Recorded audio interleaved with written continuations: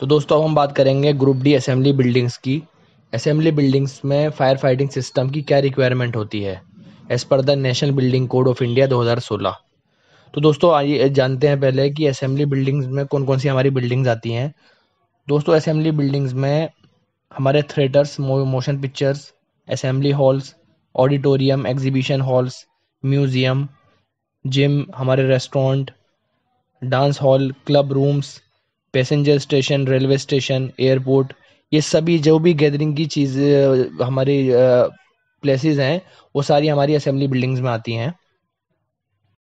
तो दोस्तों एनबीसी ने असेंबली बिल्डिंग्स को सेवन सब डिवीज़न में डिवाइड किया है, जिसमें सबसे पहले डी हमारा आता है। डी में वो बिल्डिंग्स आती हैं, जिसमें एक हज़ार बंदों से ज़्यादा की गैदरिंग हो। मतलब उसमें एक हज़ार से ज़्यादा सीट्स हों ऐसा ऑडिटोरियम जिसमें एक हज़ार से ज़्यादा सीट्स हों, वो डी वन में आएगा। सब डिवीज़न डी टू में वो वो जिसमें एक हज़ार से नीचे नीचे हमारे पर्सनस हों टोटल नंबर ऑफ़ पॉपुलेशन जो हो, वो एक हज़ार से नीचे हो, वो सब डिवीज़न डी टू में आएगा। दोस्तों, सब डिवीज़न डी थ्री में रखा है, जिसमें हमारी पॉपुलेशन तीन सौ से ऊपर हो। मतलब वहाँ पर परमानेंट सीटिंग का अरेंजमेंट ना हो, जैसे हमारे असेंबली हॉल्स वगैरह आ गए। जिसमें तीन सौ से बंद तीन सौ से ऊपर अगर पॉपुलेशन है वो डी थ्री में सब डिवीज़न में आएगा। डी फोर में वो कैटेगरी आएगी जिसमें तीन सौ हमारे पॉपुलेशन तीन सौ से नीचे हो। दोस्तों उसके बाद हमारी सब डिवीज़न आता है डी फाइव जिसमें डी वन से लेके डी फोर तक जो जो बिल्डिंग्स इंक्लूड नहीं होती तो वो इसके अंदर हम कंसिडर करेंगे। दोस्तों उसके बाद सब डिवीज़न डी सिक्स जिसमें हमारे वो बिल्डिंग्स आती हैं जिसमें आ, हमारे शॉपिंग मॉल्स मतलब असेंबली बिल्डिंग के साथ साथ हमारी cinema halls restaurant food court और शॉपिंग मॉल्स हों। तो वो और दोस्तों हमारा sub division D D seven में आता है underground and elevated metro station दोस्तों, ये तो हमने बात करी कि असेंबली बिल्डिंग्स में कौन कौन सी कैटेगरी होती हैं और कौन कौन कौन सी टाइप्स की असेंबली बिल्डिंग्स हमारी होती हैं। तो दोस्तों, अब हम देखते हैं कि फायर फाइटिंग की क्या रिक्वायरमेंट है as per the N B C दो हज़ार सोलह। तो अगर असेंबली बिल्डिंग की हाइट दस मीटर से नीचे है तो उसमें दो कैटेगरी आती हैं दोस्तों। आप स्क्रीन पर देख सकते हैं, जिसमें पहले अगर 300 पर्सनस है मतलब 300 की पॉपुलेशन है या उससे कम तो उस केस में हमारा सबसे पहले हम देखते हैं फायर एक्सटिंग्विशर की रिक्वायरमेंट है। आर मतलब रिक्वायर्ड एन आर मतलब नॉट रिक्वायर्ड फिर first aid hose reel required है wet riser system not required है डाउन कमर सिस्टम रिक्वायर्ड है। यार्ड हाइड्रेंट नोट रिक्वायर्ड है ऑटोमेटिक स्प्रिंकलर नोट रिक्वायर्ड है सी नोट फोर दोस्तों, हमारा सी नोट फोर ये कहता है कि अगर इस बिल्डिंग के अंदर बेसमेंट है और बेसमेंट का एरिया 200 स्क्वायर मीटर से ऊपर है तो ऑटोमेटिक स्प्रिंकलर सिस्टम रिक्वायर्ड है, नहीं तो नहीं। तो दोस्तों, उसके बाद हमारा आता है manually operated electronic fire fire alarm system ये रिक्वायर्ड है। Automatic detection and alarm system ये नॉट रिक्वायर्ड है। दोस्तों हम बात करते हैं वाटर सप्लाई की, जिसमें अंडरग्राउंड टैंक नोट रिक्वायर्ड है ओवरहेड टैंक रिक्वायर्ड है बीस हज़ार का। ब्रैकेट में पाँच हज़ार लिखा हुआ है सी नोट सिक्स दोस्तों सी नोट सिक्स भी हमारा ये कहता है कि अगर बिल्डिंग के अंदर बेसमेंट है और बेसमेंट का एरिया 200 स्क्वायर मीटर से ऊपर है तो ये जो ब्रैकेट वाली वैल्यू है, ये इसमें ऐड हो जाएगी बीस हज़ार में। मतलब टोटल पच्चीस हज़ार ओवरहेड टैंक की रिक्वायरमेंट हो जाएगी।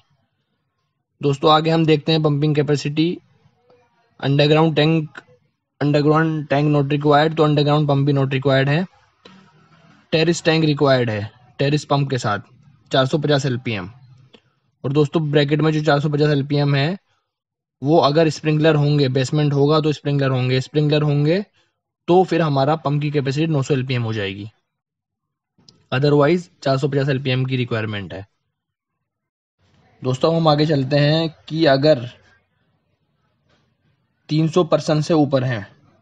मतलब 10 मीटर से नीचे बिल्डिंग की हाइट में 300 बंदे हैं या उनसे, उससे ज़्यादा हैं हमारे। तो उस केस में क्या रिक्वायरमेंट है फायर की? तो दोस्तों, उस केस में लगभग हमारी, जैसे हमारे 300 परसेंट मतलब सब कुछ सेम रहेगा, बस हमारी ओवरहेड टैंक की कैपेसिटी पच्चीस हज़ार हो जाएगी। आप देख सकते हैं स्क्रीन पर ओवरहेड टैंक की कैपेसिटी पच्चीस हज़ार हो जाएगी 900 सौ एल का पंप हो जाएगा, छत पर हमारा। बाकी वही सिस्टम रहेगा जो कि 300 परसेंट से नीचे वाले में, ऊपर वाले में था। Less than ten metre in height में। तो दोस्तों, अब दूसरे नंबर पे चलते हैं असेंबली बिल्डिंग्स में, जिसमें अगर हमारी बिल्डिंग की हाइट 10 मीटर से ऊपर और 15 मीटर से नीचे हुई मतलब 10 और 15 मीटर के बीच में अगर हाइट है असेंबली बिल्डिंग की तो उस केस में फायर का सिस्टम क्या प्रपोज करना होगा? वो ये टेबल नंबर सेवन में हम दोबारा देखते हैं। उस केस में दोस्तों, आप देख सकते हैं, वेटराइजर सिस्टम हमारा रिक्वायरमेंट है इसकी। वेटराइजर सिस्टम आ जाएगा फायर का। और डाउन कवर नॉट रिक्वायर्ड है या hydrant not required external fire hydrant नहीं आएँगे उस केस में। ऑटोमेटिक स्प्रिंगलर रिक्वायर्ड है। सी नोट फोर मतलब इस केस में भी अगर बेसमेंट है और बेसमेंट का एरिया 200 स्क्वायर मीटर से ऊपर है तो स्प्रिंकलर आएँगे, नहीं तो नहीं आएँगे। और दोस्तों इस केस में सबसे मेन चीज़ ये 10 से 15 मीटर की हाइट अगर बिल्डिंग के बीच की हुई तो उस केस में हमारा अंडरग्राउंड टैंक आ जाएगा एक लाख का। Underground tank static storage combined capacity for wet riser या hydrant and sprinkler per set of pump मतलब जो हमारा वेटर सिस्टम के लिए या, या हाइड्रेंट के लिए और स्प्रिंकलर के लिए होगा अगर रिक्वायरमेंट है स्प्रिंकलर की तो। दोस्तों और हमारा छत पर टेरिस पे पाँच हज़ार टैंक पाँच हज़ार लीटर की टैंकी रिक्वायरमेंट होगी फायर की। अब हम देखते हैं पम्प्स पम्प्स के लिए कहते हैं कि सी नोट टेन तो, तो हम सी नोट टेन में देख लेते हैं तो दोस्तों सी नोट टेन में साफ़ लिखा हुआ है कि अंडरग्राउंड टैंक के साथ हमारे तीन पंप की रिक्वायरमेंट है जिसमें एक इलेक्ट्रिक मतलब एक हाइड्रेंट पंप एक डीजल पंप जिसकी कैपेसिटी बाईस सौ अस्सी एलपीएम रहेगी और एक जॉकी पंप जिसकी कैपेसिटी एक सौ अस्सी एलपीएम रहेगी। और दोस्तों, इस केस में इन्होंने 450 एलपीएम का ओवरहेड टैंक के साथ पंप भी दिया हुआ है, कि जो कि वो भी अगर 10 से 15 मीटर के बीच में असेंबली बिल्डिंग है, वो भी देना होगा as per the NBC requirement लेकिन दोस्तों, आपको बताते चलें कि मोस्ट ऑफ़ द टाइम ये जो ऊपर वाले पंप की रिक्वायरमेंट चार सौ एल दिखाई हुई है, हम ना भी दें तो भी चल जाता है, क्योंकि हमारा सिस्टम जो है वो प्रेशराइज रहेगा नीचे पंप के द्वारा। तो कई बार फायर ऑफिसर्स जो हैं वो इस चीज़ को अप्रूव कर देते हैं विदाउट द टेरिस पंप जो कि ये चार सौ पचास एल का ये मेंशन हुआ हुआ है यहाँ पर। दोस्तों हम आगे चलते हैं। अगर बिल्डिंग असेंबली बिल्डिंग की हाइट 15 मीटर से 24 मीटर के बीच में हुई तो उस केस में फायर की क्या रिक्वायरमेंट होगी। तो दोस्तों, उस केस में हमारा वेटर सिस्टम आ जाएगा। स्प्रिंगलर हर हर फ्लोर पर आ जाएँगे। बेसमेंट हो या ना हो, स्प्रिंगलर हमें देने पड़ेंगे। हमारा फायर अलार्म सिस्टम आ जाएगा manually operated. Automatic detection and alarm system आ जाएगा। और हमारा अंडरग्राउंड टैंक की डेढ़ लाख की रिक्वायरमेंट आ जाएगी, जो कि हमारे लिए कंबाइन कैपेसिटी होगी for wet riser yard hydrant and sprinkler system के लिए। और हमारा टेरिस पे दस हज़ार लीटर का टैंक आ जाएगा। मतलब देना होगा हमें। और ये आगे लिखते हैं पंप के लिए सी नोट टेन जो कि अभी हमने पिछले वाले पॉइंट में देखा कि तीन पंप की रिक्वायरमेंट होगी, जिसमें एक हमारा इलेक्ट्रिक एक डीजल और एक जॉकी इलेक्ट्रिक और डीजल बाईस सौ अस्सी एल के होंगे, और जॉकी पंप हमारा एक सौ अस्सी एल की रिक्वायरमेंट होगी पंप की। दोस्तों असेंबली बिल्डिंग के हम फोर्थ पॉइंट पे देखते हैं। अगर हमारी बिल्डिंग की हाइट 24 मीटर से ऊपर हुई और 30 मीटर से नीचे हुई मतलब 24 से ऊपर 30 मीटर तक। तो उस केस में फायर का क्या सिस्टम होगा? उस दोस्तों आप देख सकते हैं, उस केस में हमारा अंडरग्राउंड टैंक कैपेसिटी दो लाख की रिक्वायरमेंट है। कि हमें दो लाख का टैंक फायर का देना होगा अंडरग्राउंड? और बीस हज़ार लीटर का टैंक जो है, वो हमें छत पर मतलब टेरिस पे देना होगा। वहीं आगे लिखते हैं, पंप में सी नोट इलेवन। तो दोस्तों देख लेते हैं सी नोट इलेवन क्या कहता है। सी नोट इलेवन कहता है कि जिसमें हमारे चार पंप पाँच पंप की रिक्वायरमेंट है, जिसमें हमारे एक इलेक्ट्रिक पंप एक स्प्रिंकलर पंप जिसकी दोनों की कैपेसिटी बाईस सौ अस्सी एलपीएम रहेगी, और एक डीजल पंप डीजल पंप की कैपेसिटी बाईस सौ अस्सी एलपीएम रहेगी, और दो जॉकी पंप एक सौ अस्सी एलपीएम के आएँगे। जो कि पंप एक हाइड्रेंट के लिए होगा और एक स्प्रिंकलर के लिए होगा। To overcome the pressure losses मतलब प्रेशर जो लॉस होगा, उसको मेंटेन करने के लिए हम जो जो जो की पंप यूज़ करते हैं, उसके लिए। दोस्तों, इसमें हमें टेरिस पे कोई पंप की रिक्वायरमेंट नहीं होगी।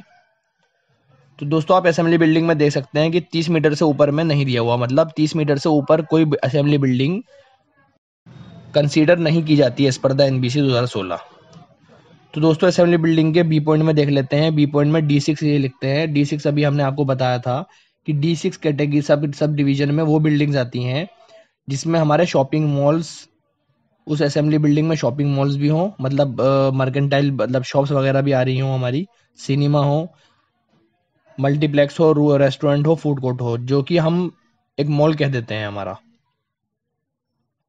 बेसिकली मॉल तो मॉल जो है वो हमारा डी सिक्स के सब डिवीज़न में आता है असेंबली बिल्डिंग में। उस केस में दोस्तों दो लाख टैंक दो लाख लीटर की फायर टैंक की रिक्वायरमेंट होगी अंडरग्राउंड और बीस हज़ार की ओवरहेड होगी। और उस केस में हमारा वेटर सिस्टम आ जाएगा। स्प्रिंगलर हर फ्लोर पे देने होंगे हमें। और पंप्स नोट ट्वेल्व ये कहता है। तो दोस्तों नोट ट्वेल्व में हमारे पाँच पंप आएँगे, जिसमें हमारे दो इलेक्ट्रिक पंप मतलब एक हाइड्रेंट एक स्प्रिंगलर पंप एक डीजल पंप और दो जॉकी पंप 180 एलपीएम के। और हमारे हाइड्रेंट स्प्रिंगलर 2850 एलपीएम के। नोट ट्वेल्व ये कहता है हमें। और दोस्तों, हम इसमें बताते चलें कि अगर हमारे बिल्डिंग में हाइड्रेंट सौ से ऊपर है तो उस केस में डीजल पंप हमें दो देने पड़ जाते हैं और हमारी अंडरग्राउंड टैंक की कैपेसिटी डबल हो जाती है। फॉर एग्जांपल ये जो डी सिक्स में कैपेसिटी दी हुई है दो लाख। अगर इस बिल्डिंग में, इस मॉल के अंदर सौ से ऊपर हाइडेंट होंगे हमारे तो अंडरग्राउंड टैंक की कैपेसिटी होगी चार लाख।